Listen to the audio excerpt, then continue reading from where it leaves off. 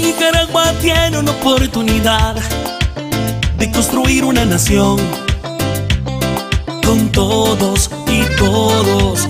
Una Nicaragua en paz, justicia y democracia que supere dictaduras tan absurdas y burdas que no me duela respirar. Un país tolerante en que tú puedas expresar y escoger tu futuro. Sin justicia no hay paz, no hay progreso social, democracia ni justicia. El poder es mi voz. Sin justicia no hay paz, no hay progreso social, democracia ni justicia. Y no te olvidaremos, el poder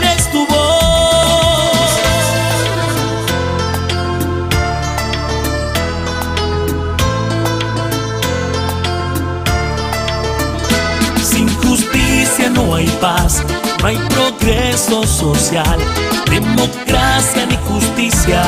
El poder es mi voz. Sin justicia no hay paz, no hay progreso social, democracia ni justicia. Y no te olvidaremos, el poder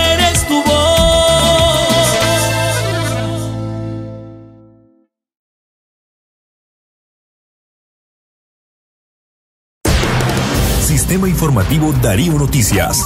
Vamos a continuar con la información porque la Darío Noticias, la manera más eficiente de informarte. 893, calidad que se escucha. Darío Noticias.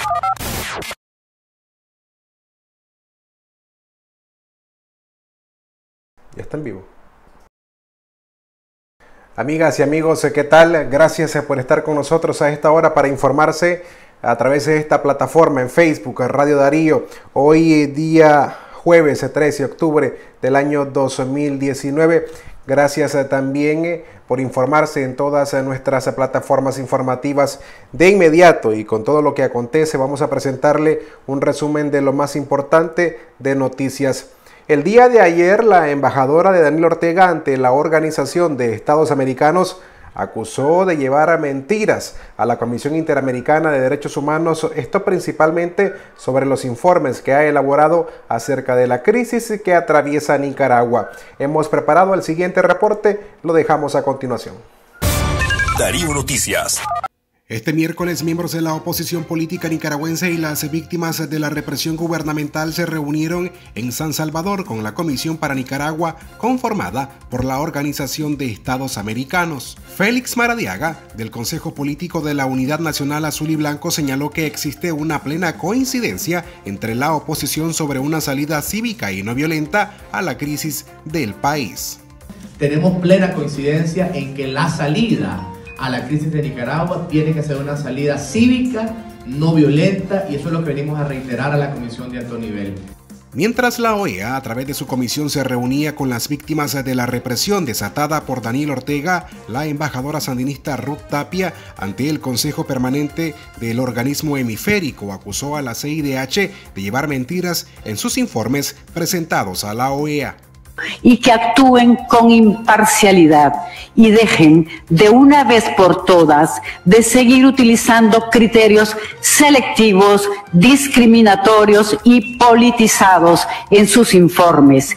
Dejen de traer informes llenos de mentiras a la OEA. En El Salvador, los encarcelados políticos denunciaron las torturas cometidas por los operadores sandinistas dentro del sistema penitenciario y señalaron, mediante informes, el asedio, amenazas y hostigamientos que viven junto a sus familiares desde que fueron puestos en libertad.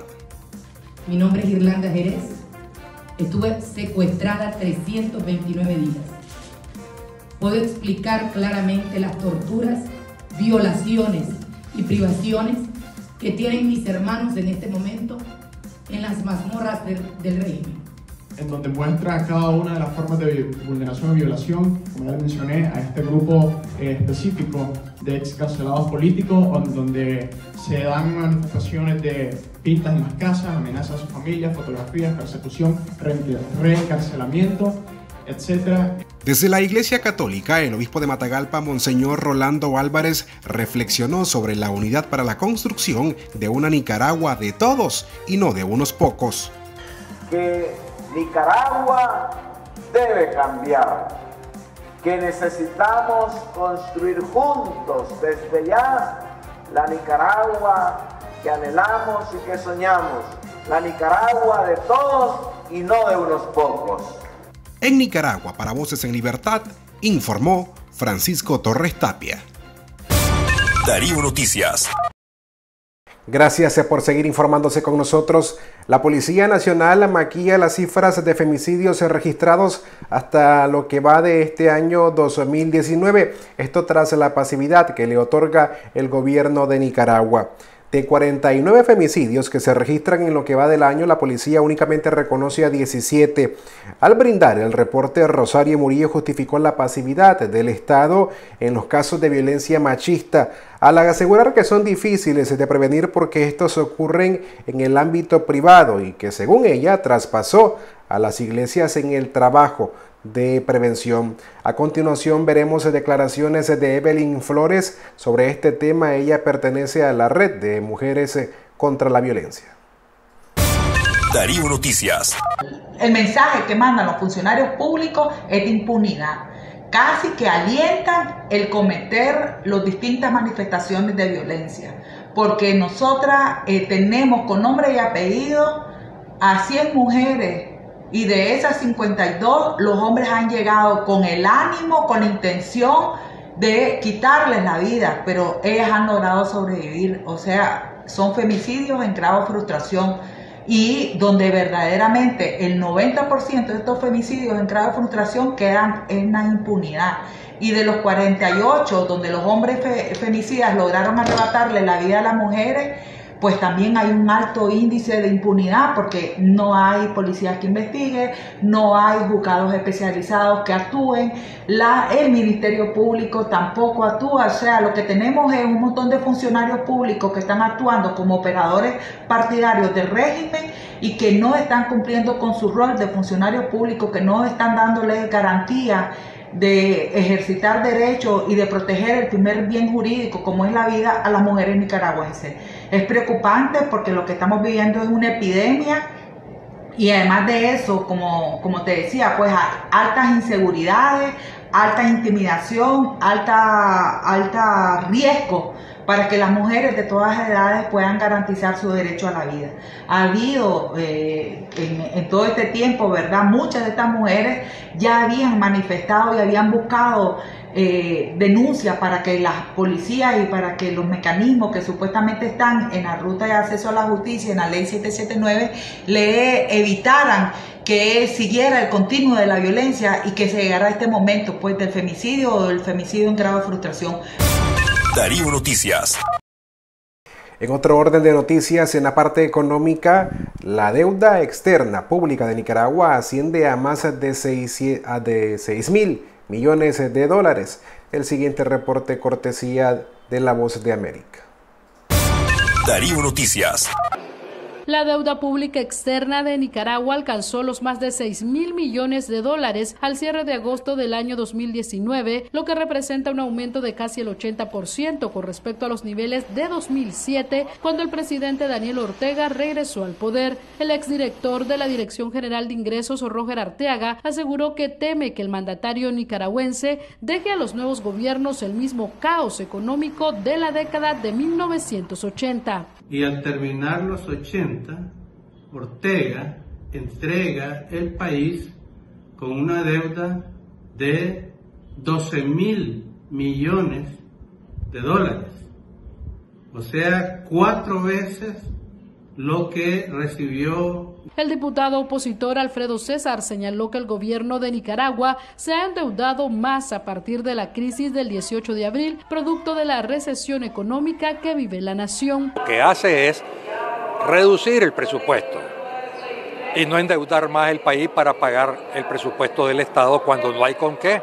Mientras el presidente de la Comisión Económica de la Asamblea Nacional, el diputado sandinista Walmaro Gutiérrez, manifestó que Nicaragua está en total capacidad de asumir esta deuda pública externa. El problema fundamental no es el patrón de comportamiento del endeudamiento per se como número, sino que si sos capaz de pagarlo. Punto número uno. Y Nicaragua tiene una deuda sostenible. Según el presupuesto general de la República, el gobierno de Nicaragua está en búsqueda de fuentes de financiamiento no convencionales, lo que significaría una mayor carga impositiva para los nicaragüenses, según economistas. Darío Noticias. Gracias por seguir con nosotros. Simpatizantes sandinistas irrumpieron durante una exposición que llevaba a cabo el excarcelado político de la ciudad de Masaya, Cristian Fajardo. Esto ocurrió en Estados Unidos. Los simpatizantes del FSLN en plena exposición acusaron a Fajardo de las muertes ocurridas en Nicaragua, por lo que este los encaró. El siguiente video es parte de la discusión que sostuvieron ambos. Darío Noticias. No, no son ciertos, señor. No es cierto. La muerte que tú causaste en Nicaragua no es. Ninguna muerte causé. Salvé vidas. Salvé vidas. Salvé vidas. Salvé vidas. Muéstreme los videos. Muéstren los videos. Muéstren los videos. Muéstren los videos. Pero gracias a Dios estamos en un país libre, estamos en América. Porque ustedes no me pueden tocar, ustedes no me pueden tocar. Aquí en Estados Unidos ustedes no me pueden tocar. Prueba, prueba, prueba. El dinero de mi familia, el dinero de mi familia, ningún dinero de nadie, mi hermano. Por estar defendiendo, por estar defendiendo el régimen, vete a Nicaragua. Vete a Nicaragua, estás defendiendo el régimen, vete a Nicaragua. Estás quedando.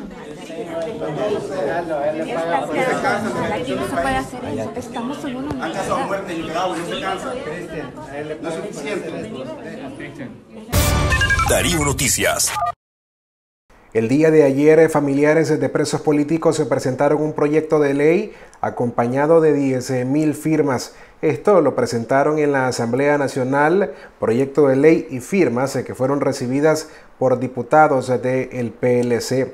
Este proyecto a lo que los familiares se pretenden es convertirlo en una, una ley que garantice la liberación de los más de 130 nicaragüenses que aún continúan detenidos por razones políticas en los centros penitenciarios del país.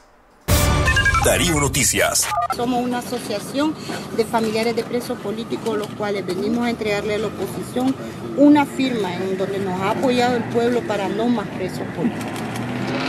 Y que se exige la liberación de los presos políticos. Que Nuestro compromiso como cambio democrático da respaldo, acompañamiento total a la Asociación de Familiares de Presos Políticos que todavía están secuestrados en las mazmorras, que saben del sufrimiento que están pasando por culpa del régimen. Seguimos denunciando, seguimos trabajando y seguimos en este trabajo de hormiga, en unión. Juntos vamos a lograr el propósito que nos hemos propuesto. Ya traemos, ya, ya traemos el proyecto de ley. Trae la firma respaldando el proyecto de ley que fue elaborado por, también por nosotros mismos. ¿Qué dice el proyecto de ley?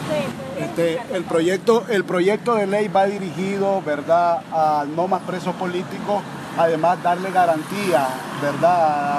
A, los expresos políticos, a los escarcelados ¿verdad? y a todos los futuros que vengan, porque nosotros sabemos perfectamente que la dictadura sigue arreciando, sigue echando presos y es el momento de que lo paremos. Estamos agotando todas las vías que tenemos como familiares de nuestros presos para que así nos digan y demostrar verdaderamente. Aquí vamos a ver si verdaderamente el gobierno o la dictadura quiere llegar a un feliz término, porque estamos claros que solo dialogando vamos a poder salir de esta crisis. Le agradecemos a todo el pueblo de Nicaragua que nos respaldó con más de 10 mil firmas que estamos haciendo presente ahorita, más el proyecto de ley, un proyecto de ley fundamentado por la Asociación de Familiares de Presos Políticos. Bien, nosotros los diputados opositores del PLC hemos estado en todo momento apoyando a, los familiares de, los presos políticos, en este caso a la asociación. Eh, nos hemos integrado durante todo el proceso de la crisis de Nicaragua a apoyar al, pueblo. Y en este momento nosotros recibimos la gran responsabilidad de, empujar este, esta iniciativa de ley, vamos a firmar los 14 diputados del PLC y la estaremos presentando una vez que la hayamos revisado y cumplamos con algunos requisitos que, se deben cumplir en el seno de la Asamblea. Como Darío Noticias. Como represalia política, el sistema de justicia nicaragüense castigó e inhabilitó por seis meses a la abogada María Oviedo de la Comisión Permanente de Derechos Humanos. Hoy está cumpliendo un mes o la condena a la que fue sentenciada por un mes, pero aparte fue inhabilitada seis meses. En una entrevista, la abogada de la CPDH relata que es el trabajo que está realizando al no poder ejercer su profesión como tal tras la inhabilitación de seis meses que le impuso el sistema de justicia en este país. Darío Noticias. Sí, actualmente, eh, como estoy suspendida, ¿verdad? No puedo ni siquiera ingresar a las instalaciones del Complejo Judicial Central Managua porque mi carnet, pues, que es lo que me permite el ingreso, pues no, no está habilitado, entonces no puedo acceder a las instalaciones. Entonces lo que hemos hecho es de que eh, en la CPDH hay mucho trabajo administrativo que hacer, la rendición de informes, y entonces estamos trabajando en ese sentido. También se está trabajando porque una de las consecuencias de dejar de representar a, una, a un acusado, a un procesado, eh, implica muchas, muchas consecuencias. dentro de estas está eh, hablar con los familiares, hacer los cambios de defensa, eh, para que se nombre a un nuevo abogado de aquí, de la Comisión Permanente de Derechos Humanos, para que lo siga representando. También eh, se le explica las condiciones en que quedó el caso, el estado del proceso, y se, explicó, se dio muchas explicaciones en cuanto a, los procesos mismos de cada uno de los, de los, de los acusados. En, este, en mi caso, yo llevaba la representación legal de aproximadamente 22 eh, procesados, unos que ya han sido liberados por la ley de amnistía y otros que aún continúan en proceso. Doctora, está eh, meramente apoyando el área administrativa acá en la CPDH, entonces pues no puede trabajar como abogada. Sí, aquí estamos apoyando siempre eh, en la parte de rendición de informe, que es una parte importante, ¿verdad? Tenemos que nosotros tener, rendir el informe por cada proceso. Entonces eso se tiene que hacer y ese trabajo se está haciendo y también atendiendo en atención a, los usuarios. Eh, aquí se, da este, asesorías legales también constantemente y en, ese, en eso estamos trabajando. Darío Noticias. Por último, siempre hablando sobre el sistema de justicia de Nicaragua, queremos mostrarle en pantalla la fotografía del presunto paramilitar Juan Pablo Ortiz González, quien es señalado de haber asesinado a la mujer Ariana Enite Martínez García, esto en Matagalpa. Hacemos referencia a este caso porque el sistema judicial guarda silencio sobre la audiencia inicial que se lleva a cabo el día de hoy a Juan Pablo Ortiz González, quien en este caso, de acuerdo a esta notificación que aparece en pantalla, será procesado o es acusado por el femicidio en contra de Ariana Enite Martínez García. La particularidad de este caso es que ni los medios ni la ciudadanía en general se enteró acerca de la detención o entrega del mismo a las autoridades policiales, mucho menos la policía, como hizo en el caso de los manifestantes a quienes acusó de terroristas, no ha presentado ante los medios de comunicación a Juan Pablo Ortiz González de ser señalado del el femicidio de Ariana Enid Martínez García. Bueno, y de esta forma llegamos al final de esta edición de noticias. Gracias por habernos acompañado en estos minutos de información. Nos encontramos en otro espacio de noticias. Darío Noticias. Sistema Informativo Darío Noticias. Vamos a continuar con la información porque la Darío Noticias, la manera más eficiente de informarte. 893, calidad que se escucha. Darío Noticias.